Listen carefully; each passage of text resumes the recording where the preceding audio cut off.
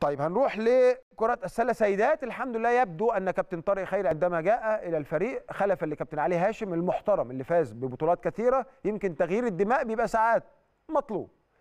آآ آآ الحمد لله قدرنا إن إحنا نفوز في دو نصف النهائي على هليوبوليس بنتيجة 92 82 فريق هليوبلس العنيد. الماتش كان اتلعب امبارح على صالة برج العرب بمدينة اسكندرية. وباذن الله الماتش اللي جاي يوم الخميس على نفس الصالة وفي حالة فوزنا هنضمن الصعود للنهائي. best of 3 ليس 5 اللي بيكسب ماتشين في البلاي اوف بتأهل دي محترفتنا اللي أدت أداء كبير جدا.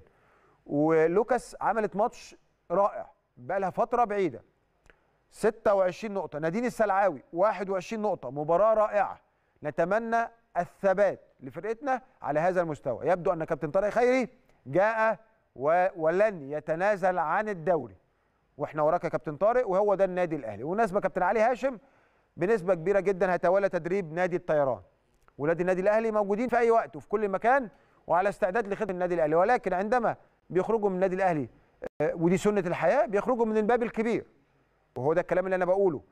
آه كابتن علي هاشم شعر وإحنا هنا بنحييه بنحييك يا كابتن علي ومش هننسى إنجازاتك. عندما شعر أن التغيير مطلوب من نفسه انسحب.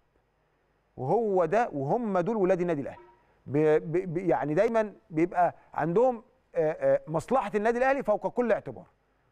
وعندما يجتهد مدرب ولم يعني يوفق مع النادي الأهلي له منا كل الاحترام. لأن هو كان نيته وكان مجهوده وكان عطائه هو عايز يرفع اسم النادي الأهلي. مفيش شك هم دول ولاد النادي الأهلي. كل التوفيق لكابتن طارق خيري ونتمنى التوفيق أيضا لكابتن علي هاشم.